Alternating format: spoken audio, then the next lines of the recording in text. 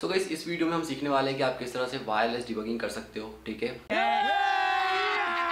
Laptop में Android studio में कोई भी ऐप आपने बनाया है उसको आप रन कर सकते हो बिना किसी यूएसबी केबल की ज़रूरत के ठीक है? तो आपको बार बार केबल कनेक्ट नहीं करना पड़ेगा और फिर आपको बार बार वो सारी प्रोसेस रिपीट नहीं करनी पड़ेगी। आप उसको वायरलेसली रन कर सकते हो ठीक है? और चेक कर सकते हो कि आपके ऐप का जो आउटपुट है वो क्या होगा ठीक है guys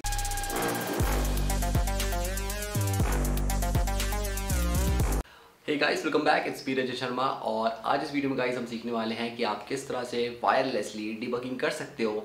मतलब आपको यूएसबी केबल की ज़रूरत नहीं पड़ेगी अपने ऐप को रन करने के लिए। आप सिंपली उसको बिना यूएसबी केबल के भी रन कर सकते हो, ठीक है? तो मैं इस वीडियो में आपको कोई भी थर्ड पार्टी एक्सटेंशन लाइब्रेरी कुछ नहीं बताने वाला, ठीक है? सब कुछ बहुत सिंपल होगा सेफ़ होगा। आपका डेटा सेफ़ रहेगा, आपकी डिवाइस सेफ़ रहेगी। ठीक है कैसे करना है? बहुत सिंपल है। मैं आपको पूरा प्रोसीजर बताने वाला हूँ। आपको एक एक करके उसको फॉलो करना, ठीक है? और अगर कोई प्रॉब्लम आपको आती है तो आप सिंपली कमेंट सेक्शन में मेरे से पूछ सकते हो कि, सर, यहाँ पे मैंने किया और मैं इसके आगे प्रोसीड नहीं कर पा रहा। तो मैं आपको सिंपली प्रोवाइड कर दूँगा कि आपको क्या उसके बाद स्टेप्स फॉलो करनी है। ठीक है गाइस तो वीडियो स्टार्ट करते हैं और चैनल को सब्सक्राइब ज़रूर करें, ठीक है? वीडियो को शेयर ज़रूर करें। So without wasting time let start तो गाइस सबसे पहला तो गाइस सबसे पहला स्टेप यह है कि आपको सिंपली एंड्रॉइड स्टूडियो को अपने अपडेट करना है, ठीक है? लेटेस्ट वर्जन में, जो कि अभी चल रहा है, ठीक है? तो या तो आप डायरेक्टली एंड्रॉइड स्टूडियो से जाके कर सकते हो अपडेटिंग ठीक है? बट uh, मैं एक्चुअली बताऊँ तो मैं आईडी से अपडेट नहीं करता क्योंकि प्रॉब्लम होती ठीक है वर्जन ग्रेडल वर्जन कभी कभी प्रॉब्लम क्रिएट करता है। तो मैं क्या करता हूँ मैं सिंपली लेटेस्ट वर्जन जाके डाउनलोड कर लेता हूँ एंड्रॉइड स्टूडियो का ठीक है?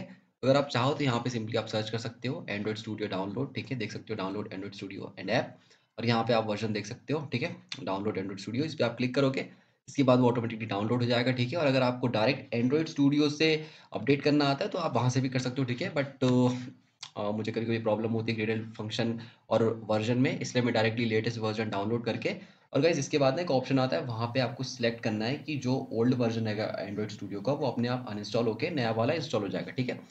इसको आप सिंपली इंस्टॉल कर लेंगे, ये पहली प्रोसेस है, ठीक है? इंस्टॉल करने के बाद आपको सिंपली इसको ओपन कर लेना है okay guys so guys download करने के बाद आपको सिंपली यहाँ पे किसी भी प्रोजेक्ट को ओपन करना है अपने।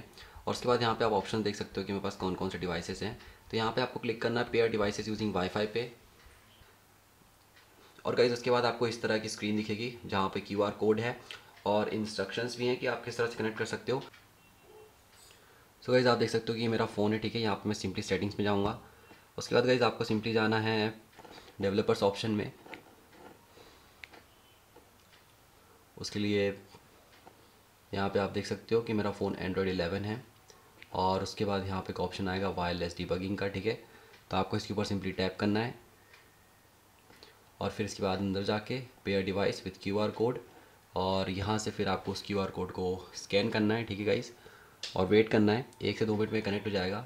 सो गाइस अब आप जैसा कि देख सकते हो कि यहाँ पे सक्सेसफुली कनेक्ट हो चुका है और आपको दिख रहा होगा वायरलेस डिबगिंग कनेक्टेड ठीक है? यहाँ पे आप देख सकते हो वायरलेस डिबगिंग कनेक्टेड और इसके बाद गाइज़ अब मैं सिंपली यहाँ पे रन करूँगा, ठीक है? ठीक है? और देखते हैं काम करता है कि नहीं करता है। यहाँ पे आप देख सकते हो कि मैंने कोई भी यूएसबी कनेक्ट नहीं करी है। मेरा फ़ोन एकदम बिना यूएसबी की, ठीक है? वायरलेस है।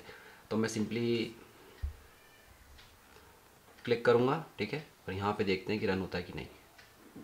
ये आप देख सकते हो कि मेरा ऐप रन कर रहा है, ठीक है? बाकायदा पूरी फंक्शनैलिटी काम कर रही है बिना किसी केबल के, ठीक है? सो गाइज़ आप देख सकते हो कि जो वायरलेस डिबगिंग है, बहुत ही सक्सेसफुली काम कर रही है ओके सो so, अगर वीडियो पसंद आया तो प्लीज़ चैनल को सब्सक्राइब करना शेयर करना और लाइक करना okay thank you for watching